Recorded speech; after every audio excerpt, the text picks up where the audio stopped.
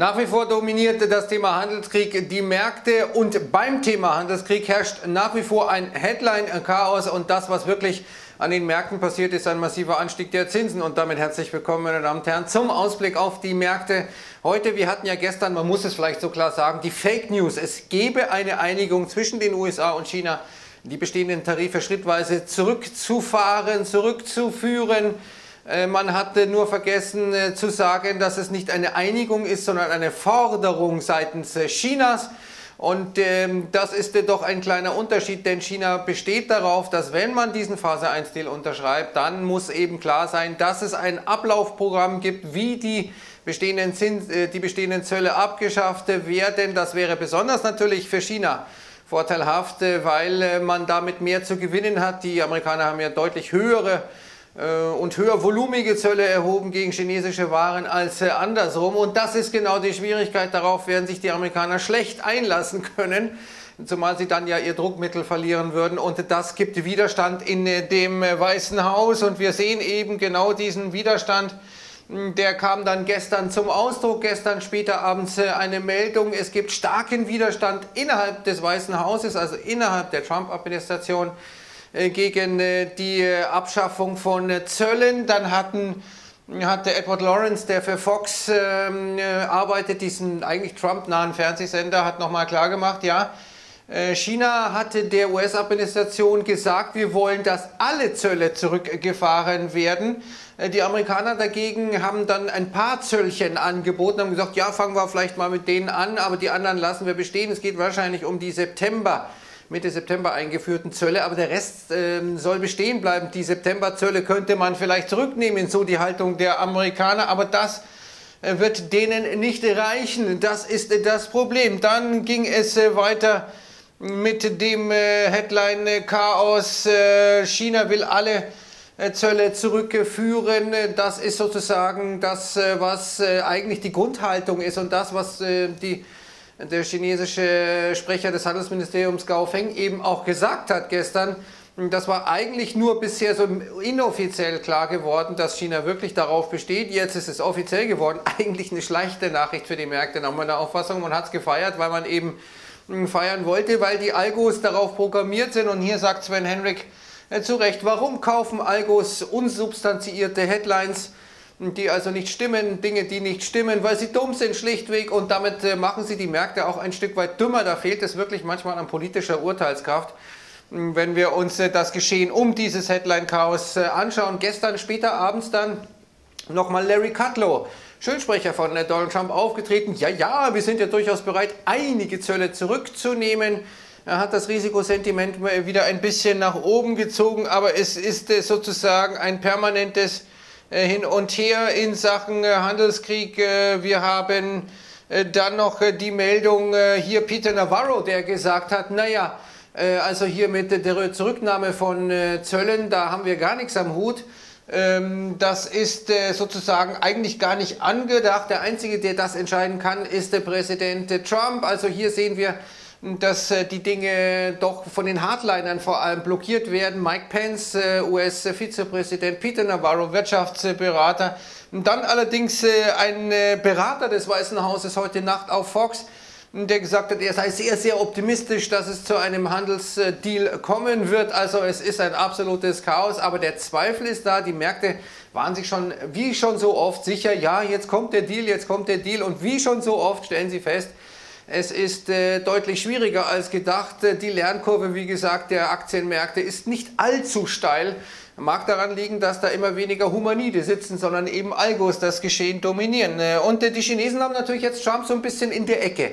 Die sagen, ja, wir wollen eigentlich das ähm, alles schon drin haben in diesem Phase 1 Deal, was eigentlich dann Phase 2, Phase 3 wäre. Das ist für Trump natürlich jetzt eine blöde Geschichte. Wird er jetzt versuchen sozusagen harter Hund zu sein und eigentlich das äh, durchsetzen, was er immer gesagt hat, äh, sich selbst also praktisch beim Wort nehmen? Oder wird er jetzt, weil er denkt, er hat bessere Wiederwahlchancen, einknicken und dann als Bettvorleger landen? Das ist die große Frage. Innenpolitisch ist es schwierig, so etwas zu verkaufen.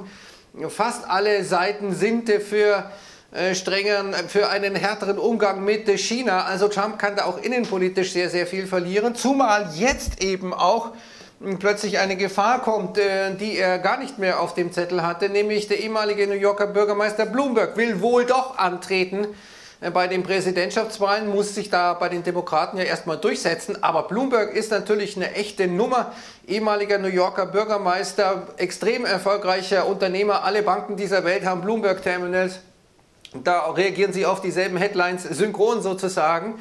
Und das wäre ein Kompromisskandidat der Demokraten, den so ziemlich alle wählen könnten. Ein extrem gefährlicher Herausforderer. Also es kommt jetzt Druck von allen Seiten.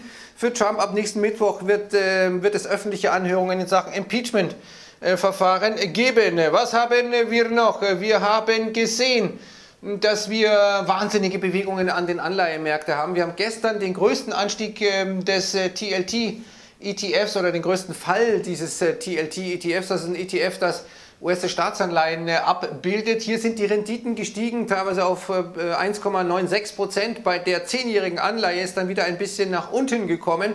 Aber das sind große, große Bewegungen eben am Anleihemarkt. Wir sehen, dass gleichzeitig die Stimmung der Privatinvestoren besser wird, also dass diese Umschichtungen aufhören offenkundig oder aufgehört haben in die Anleihemärkte, was ja lange der Fall war. Jetzt wollen alle plötzlich raus aus den Anleihemärkten, aber wollen sie eben rein in die Aktienmärkte? Das ist die Frage. Wir sehen, dass es da in, äh, bei steigenden Zinsen eben ein bestimmtes Muster äh, gibt. Was ganz schlecht läuft, sind sogenannte Utilities, Versorger. Warum? Weil die so als Dividenden, äh, als Renditeersatz gelten, sind sehr konservative, nicht sehr kreative Geschäftsmodelle, die aber immer eben laufen. Die Unternehmen zahlen oft eine sehr anständige Rendite. Wenn aber die Staatsanleihenrenditen steigen, dann wird das plötzlich wieder eine echte Alternative, wird ein besseres Investment als eben die Dividendenrenditen bei Utilities, bei Versorgern. Also, und was besonders gut läuft, das ist Financials, die laufen richtig gut. Industrials sind jetzt wieder gut gelaufen, also Industriewerte. Das ist sozusagen das Muster, das wir sehen. Technologie läuft auch äh, ganz gut. Materials, also Materialien okay und Healthcare, naja, auch okay, also Gesundheitssektor. Das vielleicht als kleiner Leitfaden, was passiert, wenn die Zinsen weiter steigen, wenn die Renditen weiter steigen. Was haben wir noch? Wir haben natürlich Charts mitgebracht. Wenn sie denn kommen, was wir hier sehen, ist der Dow Jones, die Charts von Capital.com. Und wir sehen, dass wir hier gestern ja mit diesem massiven Move nach oben gegangen sind. Nochmal weiterer Move nach oben, eben aufgrund der Fake News, um es mal klar zu sagen. Dann sind wir äh, runtergekommen ein bisschen. Dann gab es nochmal die Meldung, ja, es würde doch vielleicht äh, äh, einige Zölle zurückgerollt werden, ging es nochmal nach oben. Dann gestern aber die Meldung, es äh, ist äh, wohl so, dass es großen Widerstand gibt. Es ist ein einziges Hin und Her.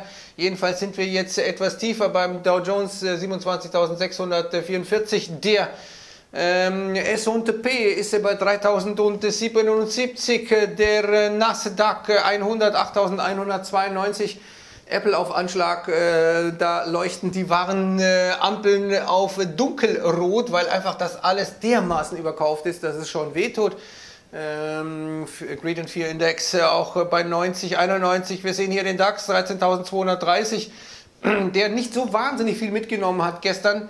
Äh, aus äh, dieser Geschichte. Na gut, 130 Pünktchen in der Spitze sind wir gestiegen äh, an, äh, aufgrund dieses Optimismus in Sachen Handelskrieg. Wir haben Dollarstärke gesehen und sehen Dollarstärke nach wie vor 1,1050. Die Zinssenkungsfantasien sind ein bisschen rausgekommen. Wir sehen hier Odds of a December Rate Cut, also die Wahrscheinlichkeiten, die deutlich gefallen sind, dass die Fed nochmal im Dezember die Zinsen senkt. Warum sollte sie auch? Äh, macht eigentlich überhaupt keinen Sinn. Wie jedenfalls äh, Gold äh, auch unter Druck äh, hält sich jetzt bei 1469 nach dem gestrigen Abverkauf und das amerikanische Crude Oil bei 56,65 Dollar. Also wird ein wichtiger, entscheidender oder interessanter Tag. Normal ist es saisonal so, dass ab dem 8. November ein Rücksetzer kommt. Ist es auch diesmal so? Gründe wären da, wenn man praktisch den eingepreisten äh, Handelsdeal wieder auspreist, zumindest teilweise auspreist und alle sind auf Anschlag investiert. Was soll schon schief gehen? Long, long, long, nachkaufen, nachkaufen, nachkaufen. Ich wünsche jetzt das Allerbeste und sage Servus und Ciao.